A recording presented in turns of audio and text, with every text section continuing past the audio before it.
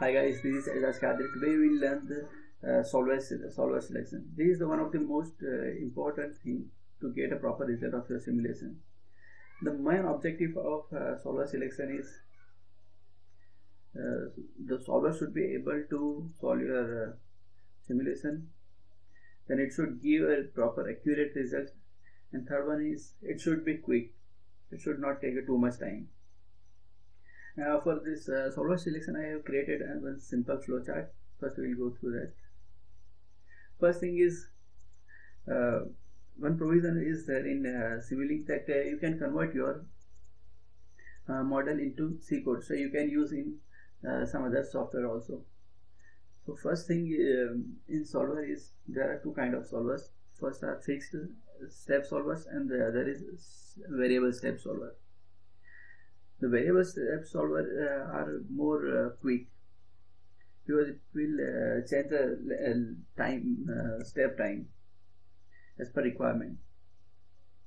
But thing is, first thing is, if you want to convert your model into C code, if yes, then only option is for you is to go for fixed step solver because only fixed step uh, solved model can be converted into C code. So if you wanted to convert to your model into uh, C code, you have to go with fixed step, or if not, then you can go with variable step solver that are more, uh, that are more efficient. So after selecting this fixed step or variable step solver, the next thing is whether your model is continuous or it has some discrete steps.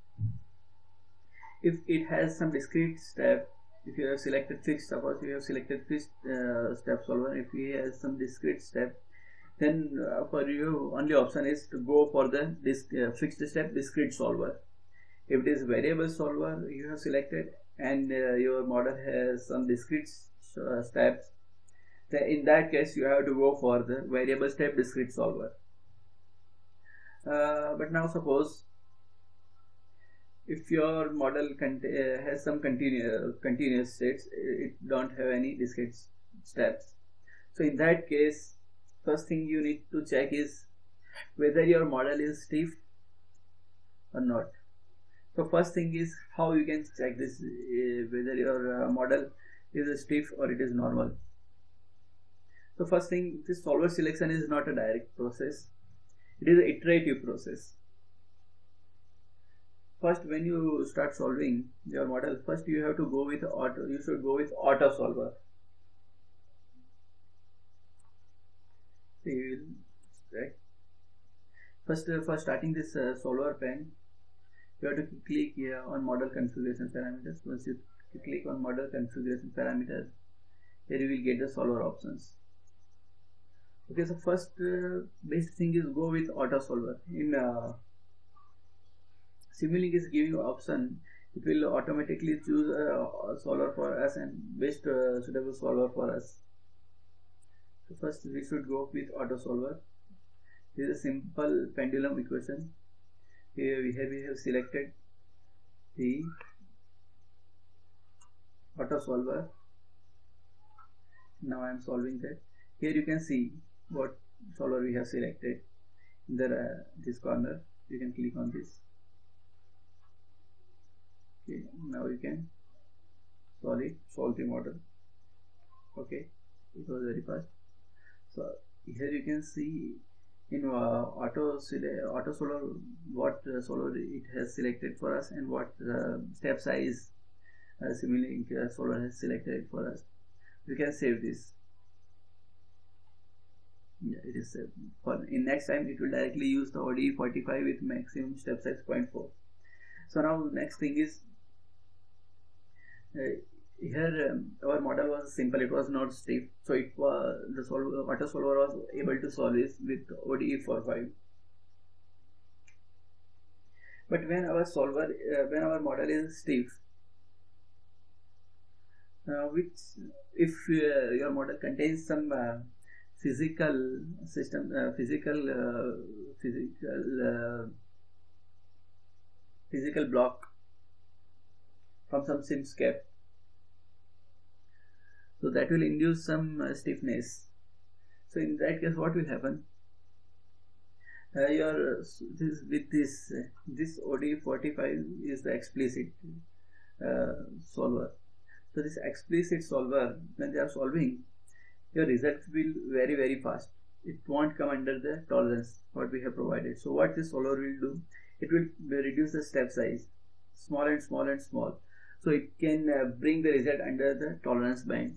So that thing, so very small step size will take very much very long time and it won't be able to solve it easily your model. So in that case this uh, simulink will give you the message that you should go with uh, stiff uh, your model is stiff and you should go with implicit solver.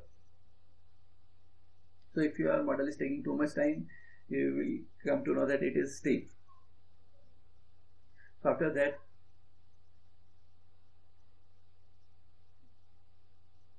So if your model is not stiff then you can go with explicit explicit solvers. This is for fixed step solvers explicit uh, these are the options. In uh, fixed step solver if your model is stiff then you have to you have only one option ODE 14x if you are going with variable step solver and your model is if your model is not stiff in that case you can go with explicit solver ODE 45 ODE 23 or ODE 115 this explicit solver are more accurate. But uh, if your model is stiff if you are using blocks from some uh, physical domains in that case your model will be stiff and you have to use this implicit solver. While uh, selecting this implicit solver you should go with this order ODE 15S2, ODE 23T because uh, uh, going, going downwards the accuracy is decreasing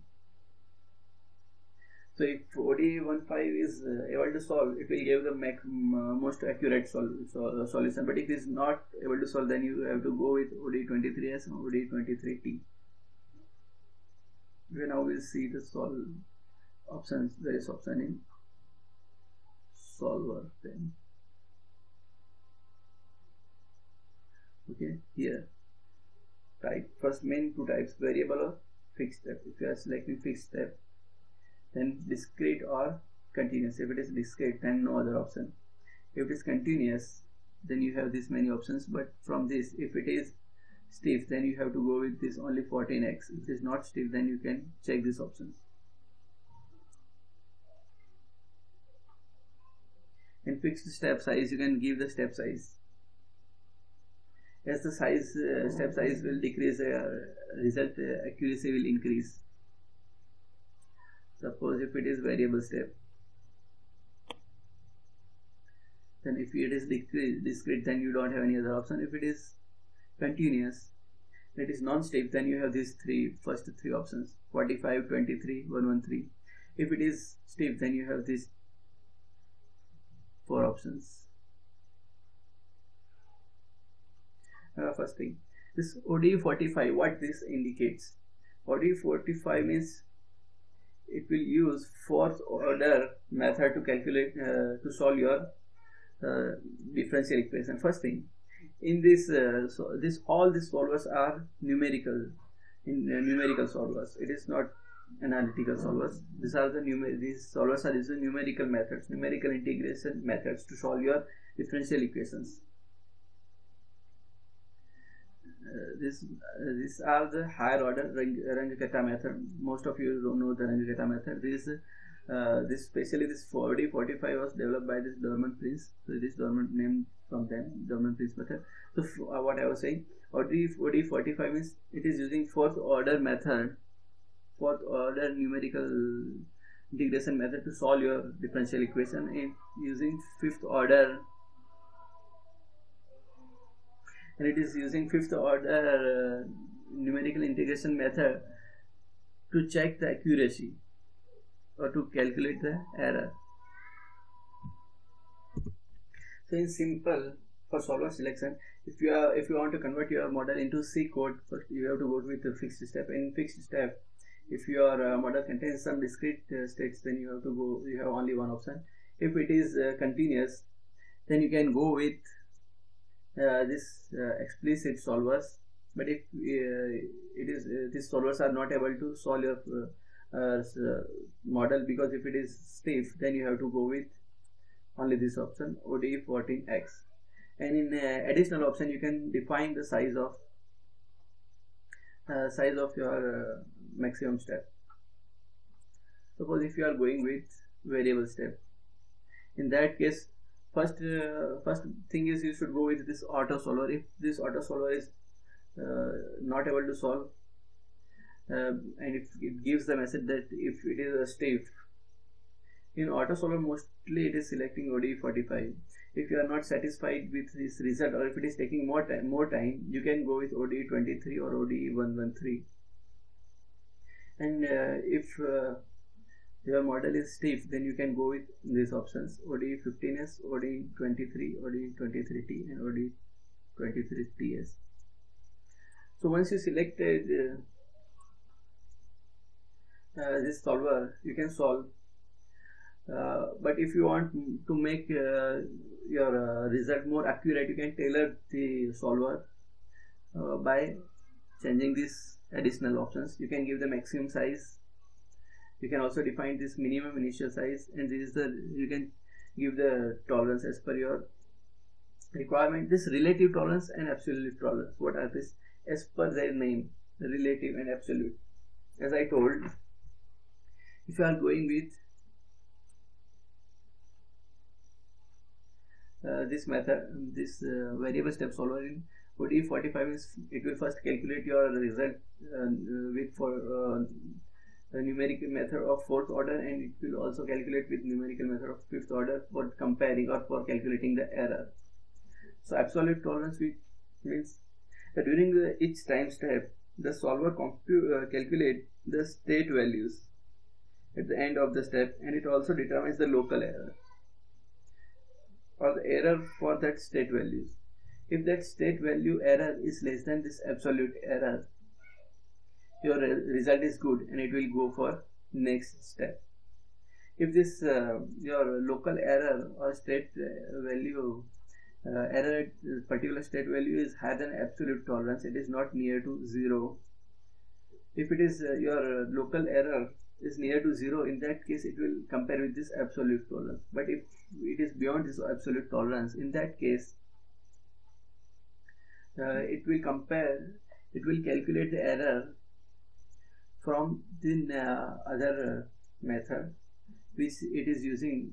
Here it is ODE uh, fifth order uh, numerical method for calculate it will calculate uh, result from fifth order numerical method then it um, it will compare with or fourth order method and it will calculate the relative error. And if your relative error is less than this tolerance it will accept that time step step size. If it is not uh, coming under this tolerance it will reduce the step size or step time and it will repeat this process. The next option is the shape preservation. What is this? Uh, at each time step uh, it can use the derivative information to improve your integral integration accuracy. But uh, in most of cases when uh, your model is simple it is better to dis, uh, select this disable option because it will make it quick. If you select this uh, enable option it will take more time. But when your uh, signal when your model contains some signal which are varying very fastly in that case for improving your model's accuracy you can select this. Enable all okay. So these are the basic options for solver selection. With this option you can solve you can select the proper solver. Uh, so this is that's it for uh, this video. In next video i will explain more about this uh, solvers more about this explicit uh, uh, solvers implicit solvers and stiffness.